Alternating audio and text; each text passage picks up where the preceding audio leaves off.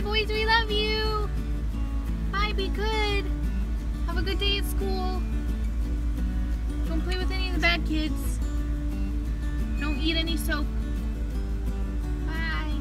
Come on, Tide Pods. Yeah. It's a Tide ad. Good morning, guys. Barely. Good. Good almost afternoon. Hey, banana with a banana. It's like a banana pod stand. Morning. Where are we going, Matt? It's a weird thing to just bring up.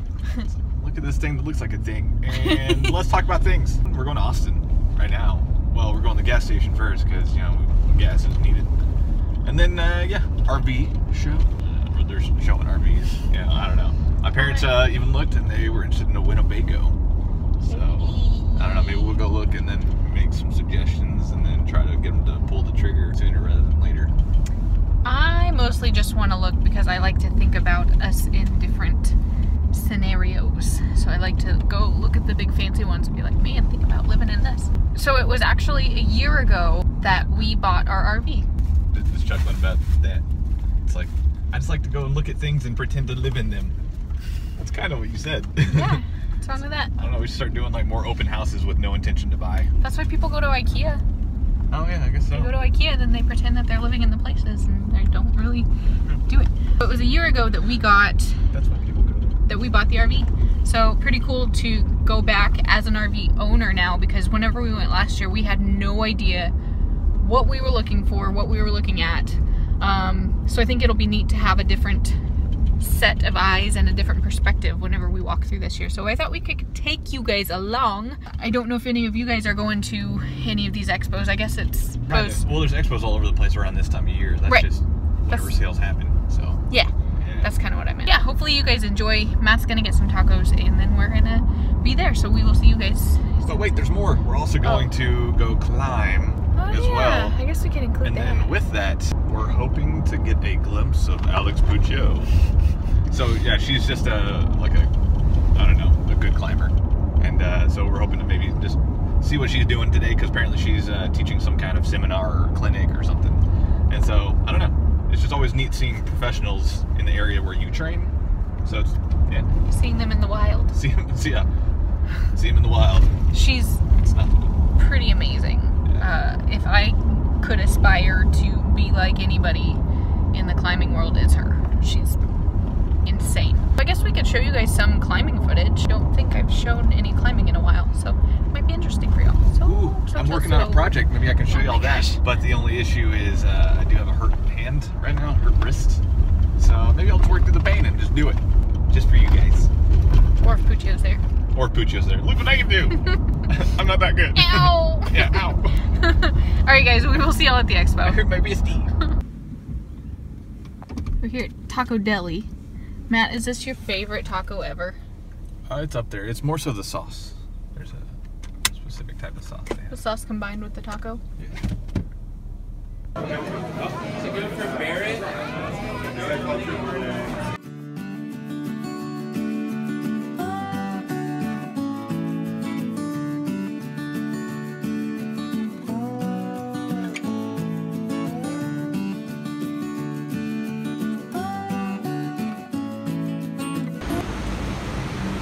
go in the elevator. I'm gonna go on the stairs. We're gonna see you guys about for a second.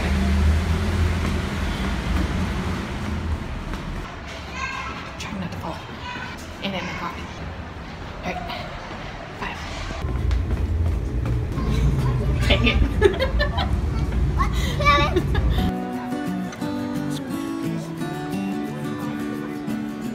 yeah. So with this one, I don't know. this one we can save time because the toilet is in the shower. I know. It's So got a little bit. poop while you shower. I want this one. We have one. It's got a separate bedroom, but it's a just a travel trailer, so it's not a fifth wheel, but it's way longer. This is the bathroom.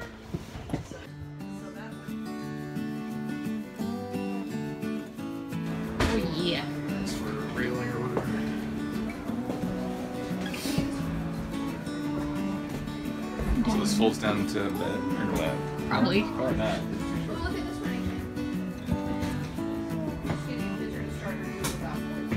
Is that the shower? Mhm. That's smart. How does that work? Oh, This interesting. Glasses. Dining. Nice recliners. Look at the full size couch. There's TV.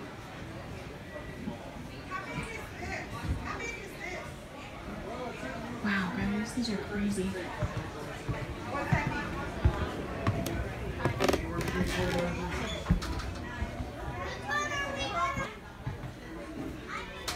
Oh, hey.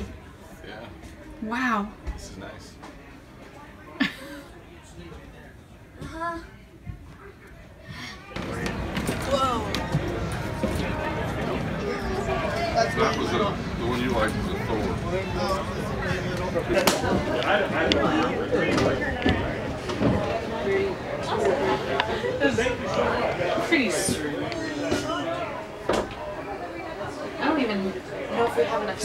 All this space.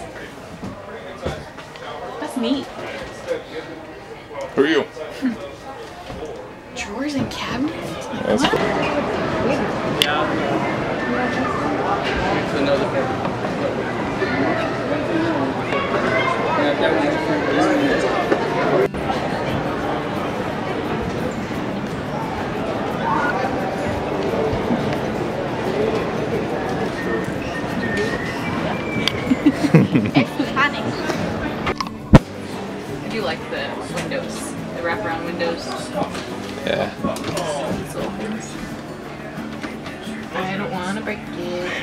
Gosh, look. Has a little tiny thing. That'd be our TV. That's- look at our new TV. it somehow takes DVDs. What? No, it takes DVDs for that over there. Oh, I didn't see that. Yeah. Cute.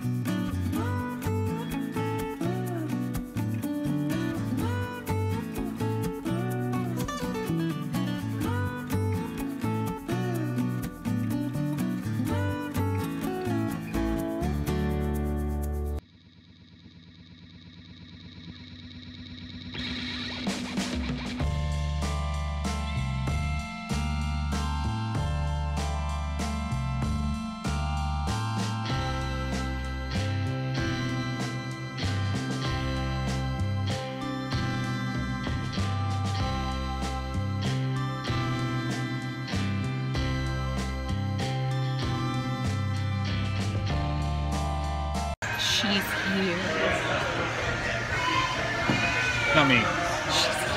She's right over right there.